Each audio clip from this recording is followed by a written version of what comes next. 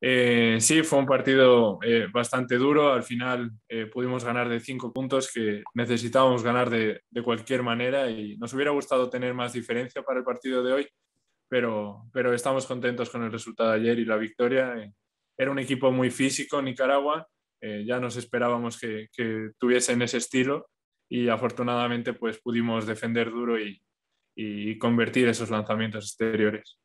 ¿Qué significa para ustedes estar a una victoria de poder clasificar a este cuadrangular, algo histórico.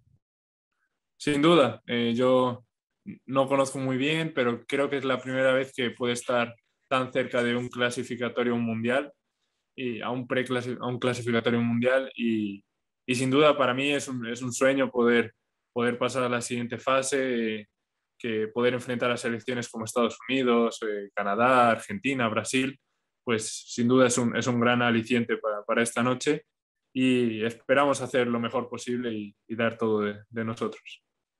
¿Qué se ha podido analizar del rival y cómo va a jugar Bolivia esta noche?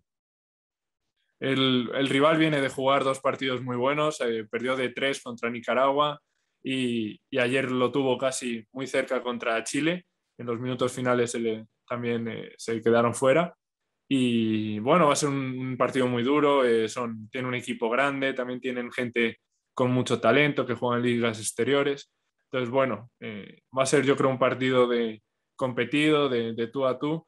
Entonces, bueno, yo confío, confío mucho en nuestro equipo, creo que, creo que hemos trabajado bien y, y sin duda vamos a dar todo para, para lograr esa victoria y la clasificación.